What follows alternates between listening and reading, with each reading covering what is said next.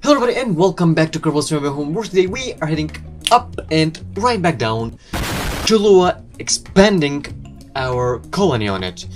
So now already you see two launches.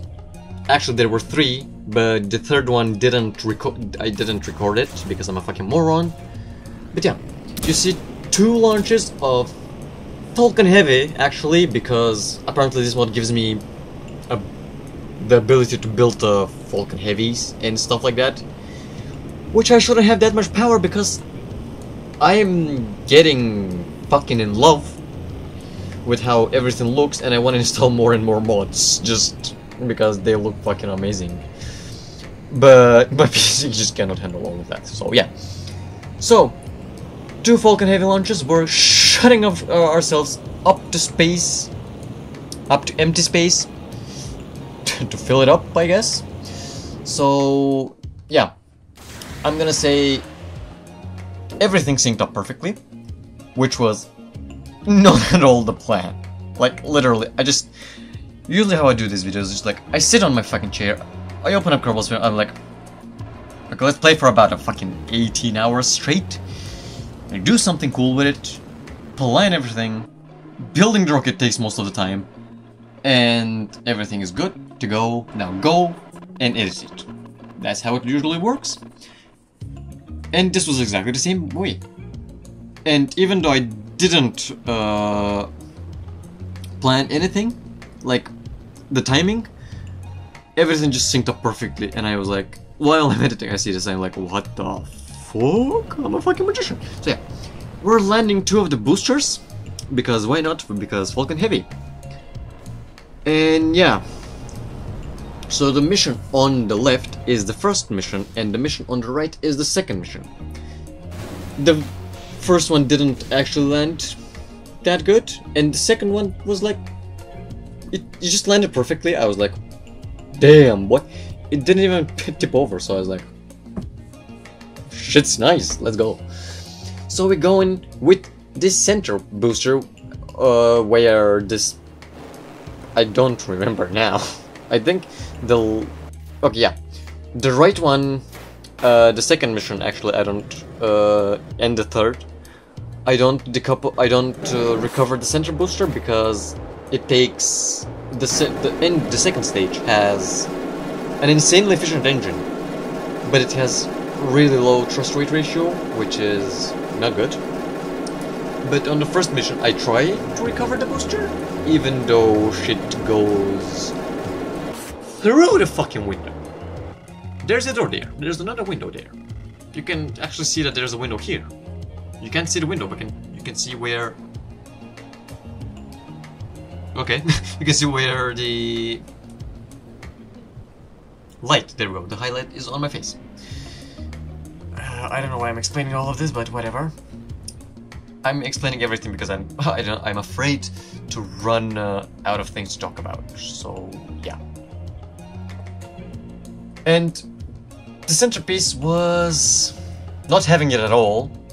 The landing legs were just bouncing all over the place, which is not perfect, just as you know. But yeah, so spoiler alert from now on. Yeah, spoiler alert from now on this launch.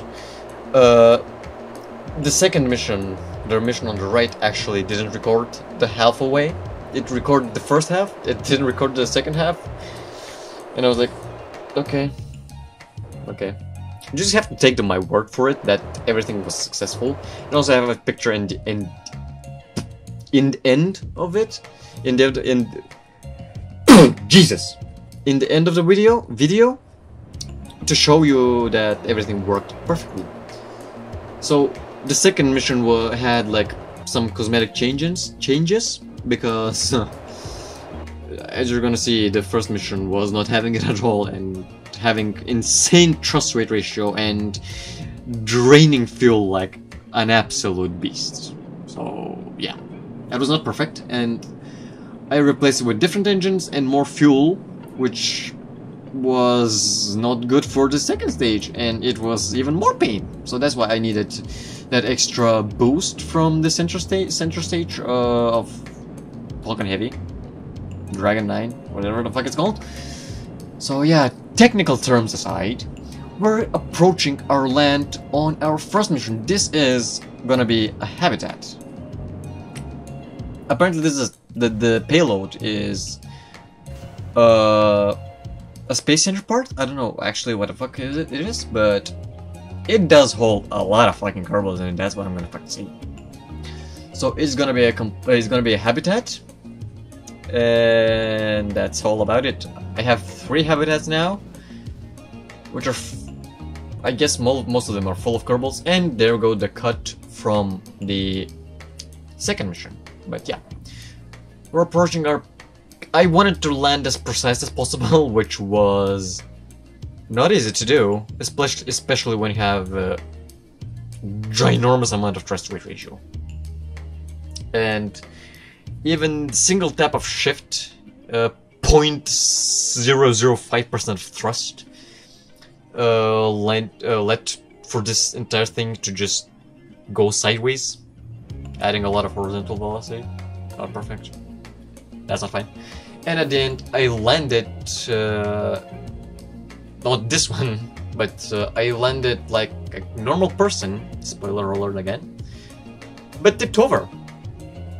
So again, we're gonna go old-fashioned, we're gonna go Tower Colony fashion, and we're gonna use all my uh, vessel mover to land wherever I need to. So yeah, you see it now on screen, and yeah, pretty much good looking. Uh, it's just my opinion, I guess, but this habitat looks cool.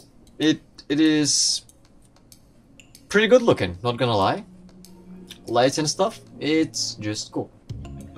I there we go. That's what I'm. That was that's what I was afraid of. of.